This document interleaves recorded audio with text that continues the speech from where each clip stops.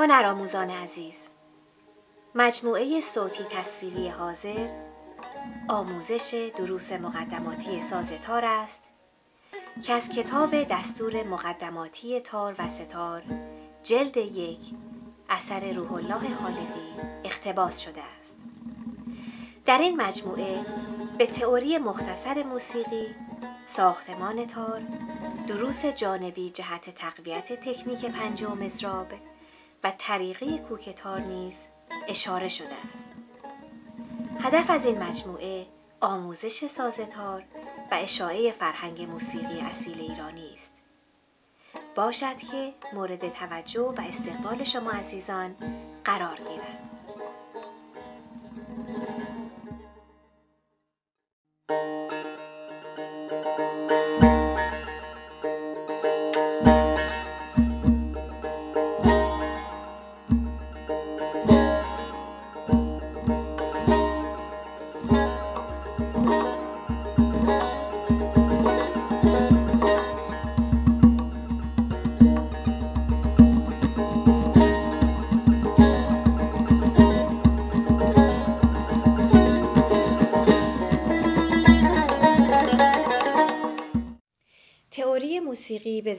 ساده. دوستان عزیز ما حتما باید یک مقدار از تئوری رو بدونیم و به زبان ساده من به شما میگم و اگر که اون رو ندونیم و بخوام یک راست وارد قسمت عملی بشیم می‌دونم هممون علاقه مندیم ذوق داریم که سریع بریم تار رو برداریم و شروع کنیم به نواختن. اما مثل این میمونه که شما به الفبای یک زبانی آشنایی نداشته باشین. موقع چه شکلی می‌خواین جمله سازی کنید و یا کلمه بنویسین حتی. در نتیجه یک سری اصول مقدماتی و اساسی و اصلی هست که من الان خدمت شما میگم. اولا وقتی ما میگیم موسیقی موسیقی تشکیل شده از دو بخش اساسی. یک سری صدا که من نوتها رو امروز به شما یاد میدم و یه مقدار ریتمه اینها هستن که با هم تلفیق میشن که ما موسیقی رو میشنویم. و حتی اگر یک موسیقی از یک ریتم ضربی خیلی مشخص هم برخوردار نباشه اما متر مخصوص خودش رو داره. حالا جلوتر شما با این اصطلاحات بهتر آشنا میشید. حال می‌خوایم با چند اصطلاح آشنا بشیم. اسم این الف با نوت هست. ما در موسیقی هفت تا نوت بیشتر نداریم.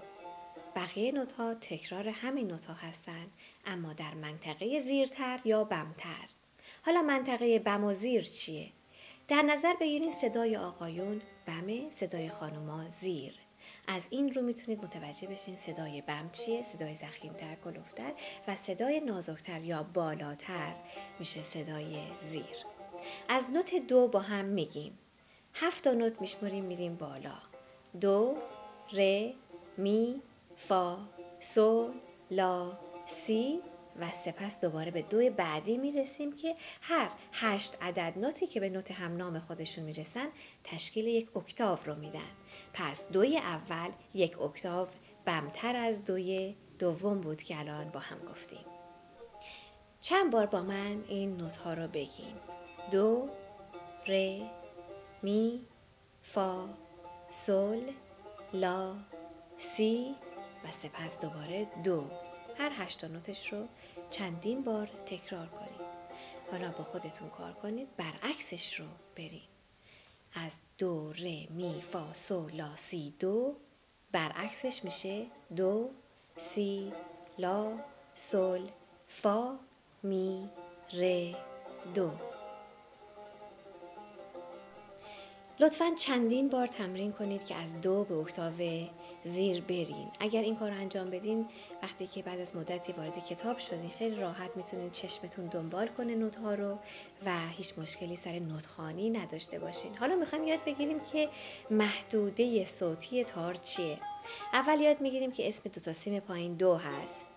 دوتا سیم وسط سل و دوتا سیم آخر دوی اکتاو بمه یعنی انگار از یک دوی برعکس کرده باشیم رسیده باشیم به دوی اکتاو بمه همون بم منطقه زخیمه منطقه صدای کلفته و قسمت زیر همونطور گفتیم صدای نازک. حالا یاد بگیریم از ر تا ر اکتاف بخونیم. تکرار کنید.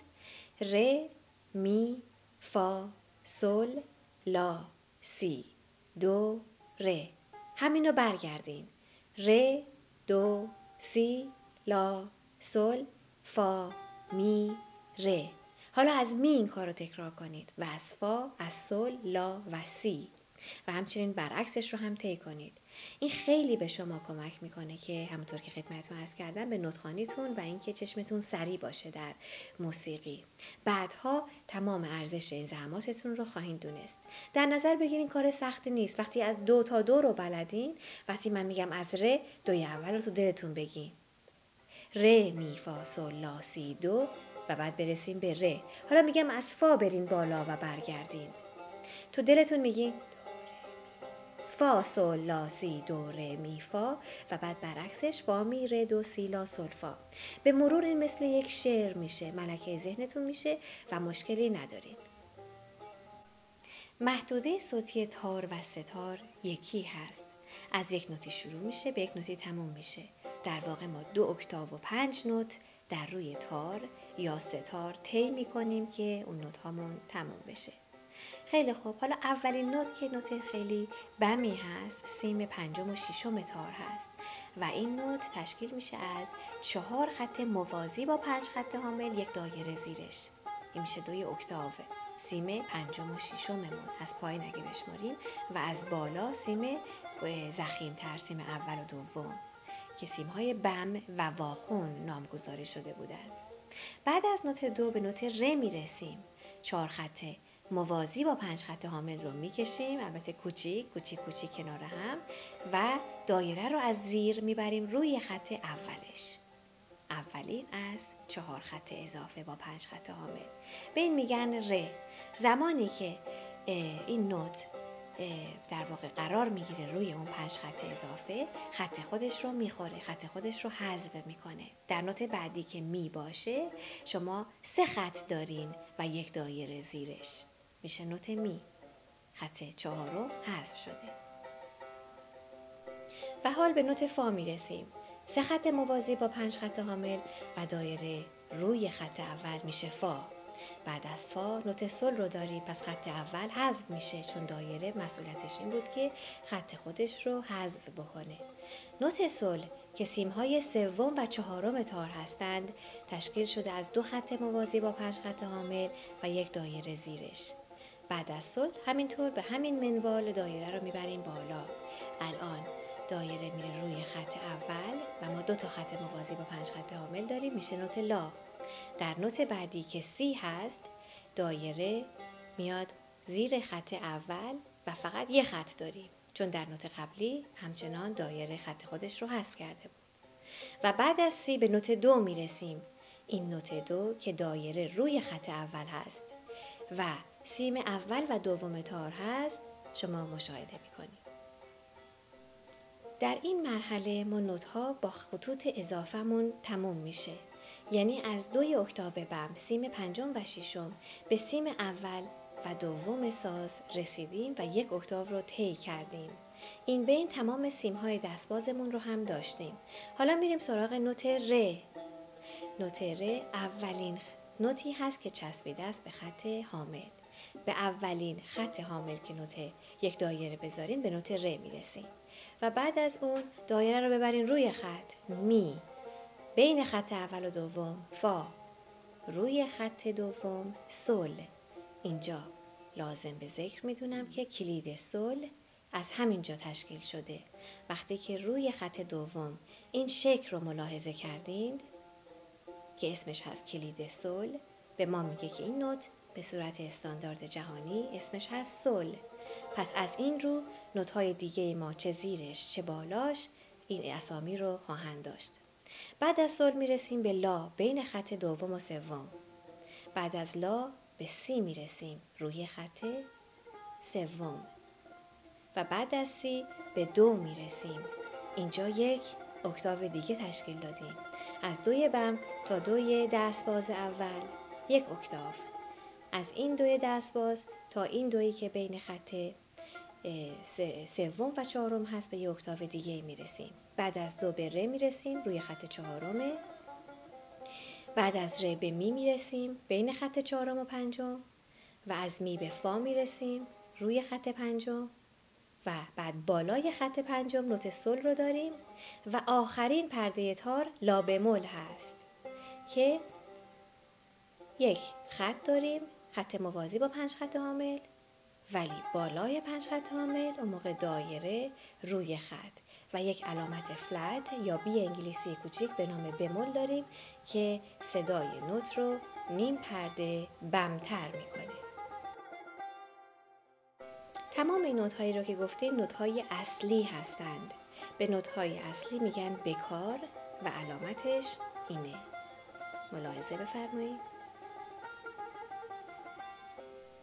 در موسیقی ایرانی نوت‌های بمولدار، کروندار، سوریدار و دیزدار هم استفاده می کنیم. علاماتشون به ترتیب بی انگلیسی کوچیک برای بمول، پی نکتیز برای کرون و سوری این علامت رو داره و دیز علامت پاوند کی تلفن هاست. دقت بفرمایید. نوت های بمولدار نیم پرده صدای نوت رو از نوت بکار یا اصلی بم می‌کنه. نوت های کروندار یک چهارم پرده بم می‌کنه. دیز نیم پرده اضافه می‌کنه. سوری یک چهارم پرده اضافه می‌کنه. نوت های اصلی هم که بکار هستن.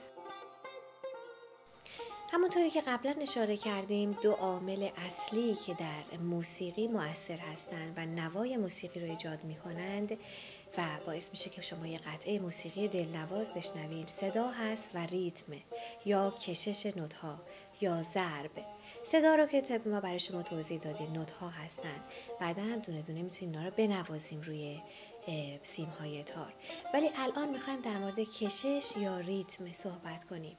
اینها به تنهایی ارزشی ندارند در کنار همدیگه معنی پیدا می‌کنند. الان می‌خوایم که یک واحد زمانی تعیین کنیم. همه نوت های ما که مثل توپ گرد هستند و قل می‌خورند رو اسمشو می‌ذاریم گرد. اگر گرد رو واحد بگیریم و بگیم گرد چهار ضرب هست بقیه کشش ها رو از روی این مقیاس بندی می کنیم. حالا در واحد ارزش زمانی گرد که چهار ضرب هست ضرب چیه؟ یک چیزیه که تقریبی خودتون تعیین می‌کنید. به عنوان مثال من یک ضرب رو اینطوری تعیین می‌کنم. یک و. تکرار بفرمایید. یک و. یاد اقربه ثانیه شماره ساعت هم می‌تونید بیفتید یک و. دو و. سه و. چهار و. همزمان که داریم ساز می‌زنیم از پای راست یا پای چپمون استفاده می‌کنیم که ریتم رو برای ما به این شکل نگه داره.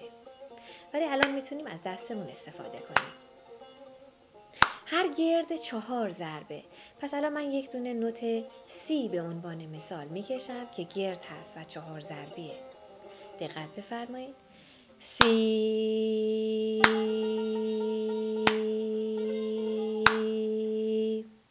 در دلم داشتم میشمردم. یک و دو و سه و چهار و حالا تجسم کنید یه سی چهار ضربی یا گرد داریم پشت سرش یک دونه ری گرد یا چهار ضربی داریم سی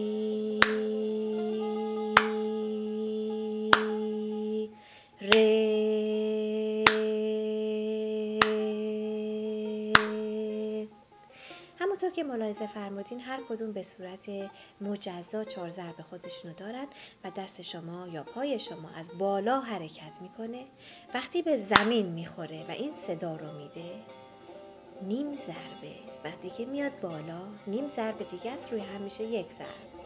اومده سر جای اولش. دوباره این حرکت رو انجام میده و یک ضرب دیگه ایجاد می‌کنه.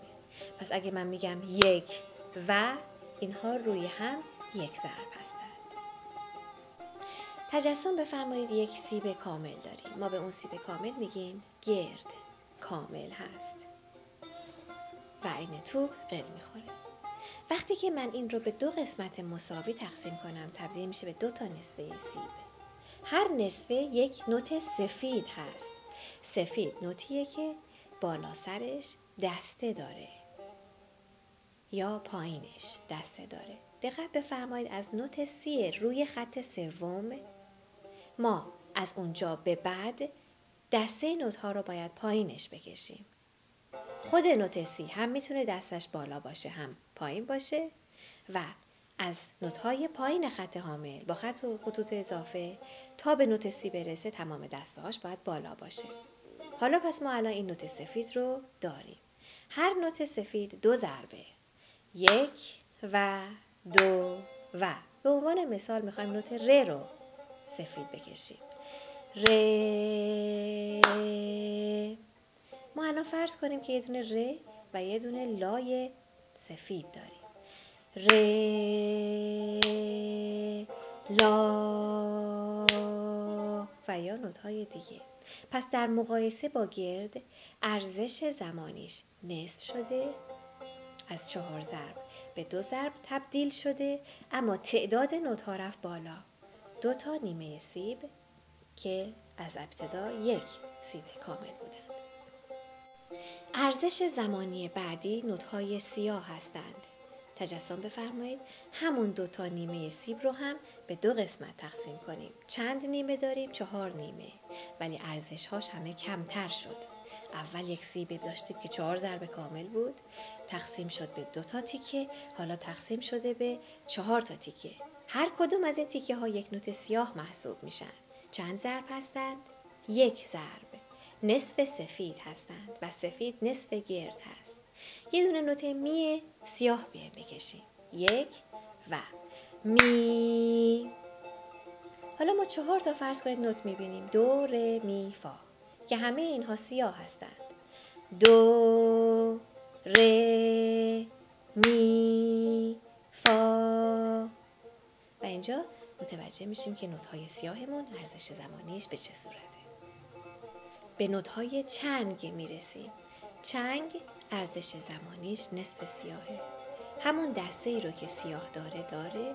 توش هم پر هست مثل نوت سیاه و یه دونه چنگک هم بغلش داره. لازم به ذکر می‌دونم که نوت های سیاهمون به علت اینکه توش پر هست سیاه نامگذاری شدند و سفیدها به علت اینکه توش سفید هست یا خالی هست یا پر نشدن سفید نامگذاری شدند. گردم که از قبل گفتیم چون مثل تو قل می‌خورن. الان این حالت چنگک این نوت که بغل دستش هست ما رو یادآوری از سازی قدیمی به نام چنگ هارپ یا لیر هم می‌کنه.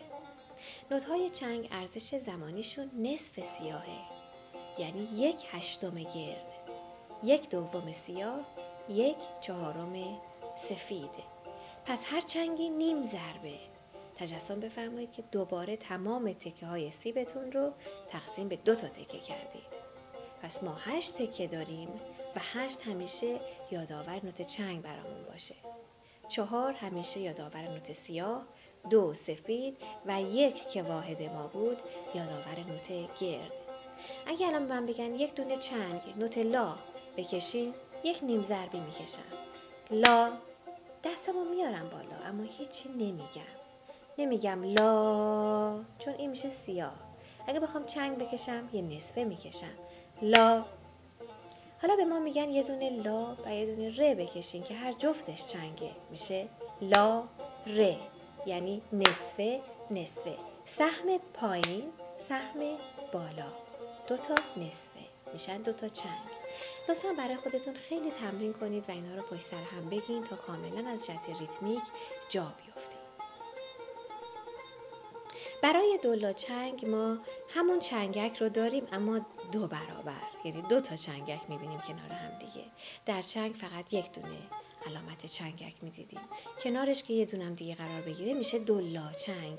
حالا دولا چنگ هم نصف ارزش زمانی چنگه.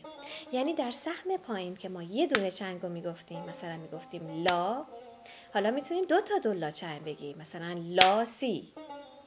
حالا اگر بگن دستت که اومد بالا هم دو تا دولا چنگ دیگه بگو لا سی. به این شکل لا سی لا سی. باز تجسم بفرمایید. هر کدوم از تیکه های سیبتون رو باز دو برابر نصف کردید. میشه 16 عدد 16 برای شما یادآور دولا چنگ باشه. باز تمرین می‌کنیم. نوت های دو و ره دو ره دو ره می و فا. می فا می فا. یا دو ره می فا. دو ره می فا. پاتون که میاد پایین دوتا بگین. میاد بالا دوتا بگیم حالا الان می‌تونید یه تمرینی انجام بدیم تمام این ریتم ها قابل تلفیق هستند و در میزان که در آینده توضیح میدم میگنجن از ابتدا بیاین از گرد شروع کنیم و بعد به سفید، سیاه، چنگ و دلا چنگ برسیم. نوت ر رو مثال می‌زنیم. سفید ببخشید گرد چهار ضرب بود. ر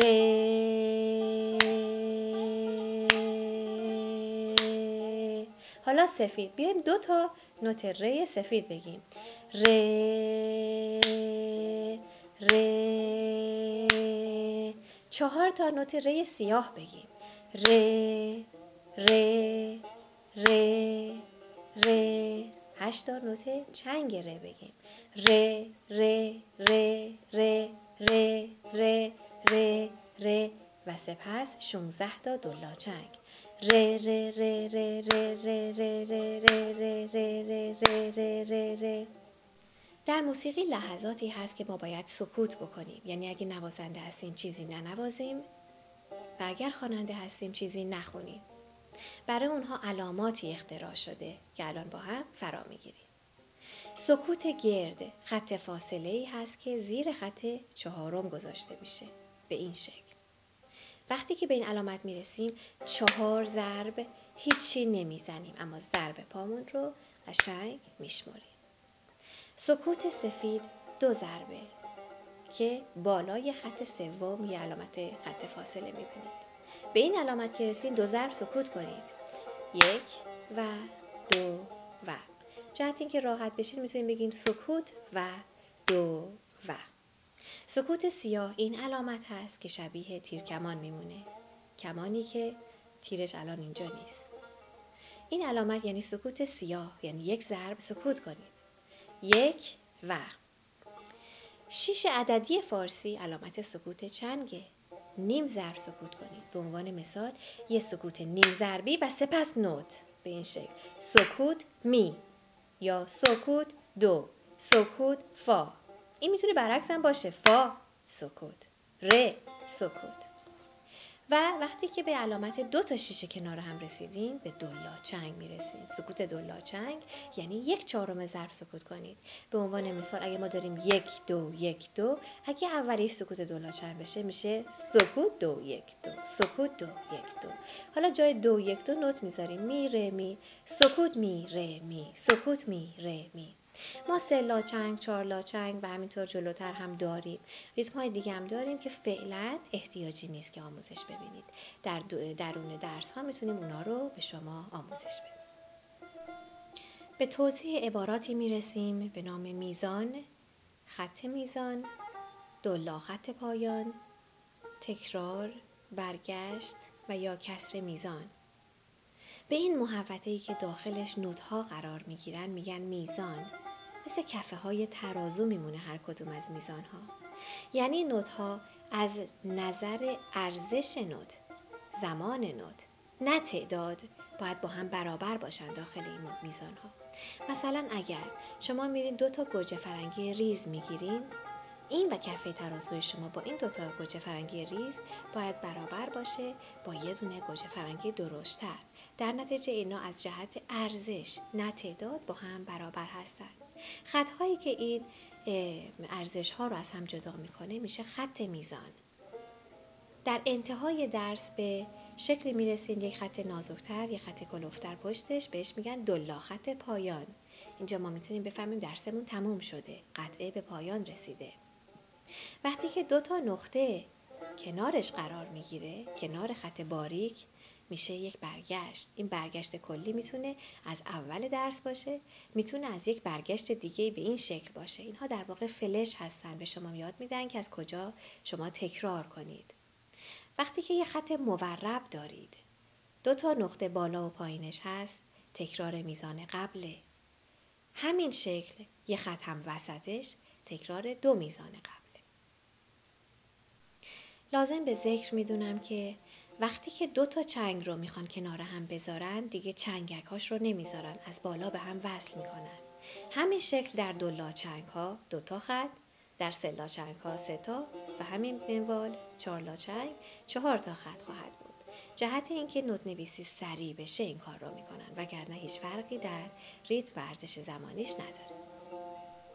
به بحث مهم کسر میزان می‌رسیم. حتما شما در ابتدای دروس روی کتابتون که نگاه کنید علاماتی می‌بینید مثل دو چهارم سه چهارم که البته کسری بینش نیست خط میزانی بینش نیست ولی اسمش هست کسر میزان. اینا چی هست؟ یا 6 هشتم یا 12 16 هم اینا چه معنی داره؟ خیلی خوب. عدد بالایی علامت تعداد نوتی هست که قراره در داخل میزان یا به عنوان مثال واحد ما گذاشته بشه یا در تعریف ما بگنجه. و اون عدد پایینی ارزش زمان هر کدوم از اون نوت هاست. به عنوان مثال دو چهارم یعنی دو عدد نوتی که سیاه باشه. من این سیاه رو از کجا آوردم؟ اگه یادتون باشه ما اون سیب رو که مثال زدیم گفتیم که به چهار قسمت تقسیم میشه چهار علامت سیاه بود. هیچ وقت یادتون نره چهار علامت سیاه هست. الان دو چهارم یعنی دو عدد سیاه داخل میزان. ولی این به این معنی هست که یه دونه سفید هم می‌تونه باشه. چرا؟ چون دو تا سیاه برابر یه دونه سفید هم هستند. دو تا سیاه یک ضربی میشه مساوی با یک دونه نوت دو ضربی. یاد تمام توضیحات من در مورد ترازو و کفه های میزان بیفتید همچنین این می‌تونه چهار تا چنگ باشه. هشتا دولا چنگ باشه. 16 تا سلا چنگ باشه به همین منوال می‌تونه جلو بره. تلفیقی از اینها باشه. سکوت توش بذاریم. الان یکیشو مثال می‌زنیم. در دو چهارم همیشه بشمرین. یک و دو و. می‌تونیم دو تا سیاه داشته باشید در دفتر نوتتون وارد کنید.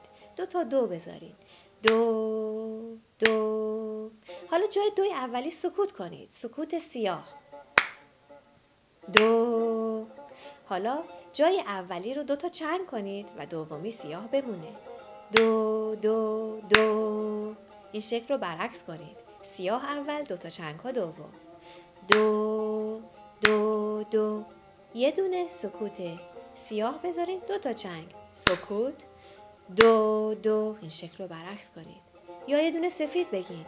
دو و چندین شکل دیگه. در نتیجه شما متوجه میشین که چقدر تنوع می‌تونید بدین از جهت ریتم و نوتها و ارزش زمانی اونها در یک تمرین و یا در یک آهنگ. حالا بیایم یک یکم رو توضیح بدیم. این یعنی یک عدد نوت گرده خب یک عدد که بالاش مشخصه گفتیم علامت عدده و یا تعداده و یک پایینی ارزش زمانیه. یک یاد سیب کامل بیافتیم پس میشه گرده. حالا یه دونه گرد می‌تونه دوتا سفید باشه چهار تا سیاه باشه هشت تا چنگ 16 تا دولا چنگ و همین منوال. همون تمرینی که در مورد درس دو چهارم دادن می‌تونید توی این هم اجرا کنید. حالا سه چهارم رو در نظر بگیریم. یعنی سه عدد سیاه داخل یک میزان. میزانی است سه ضربی.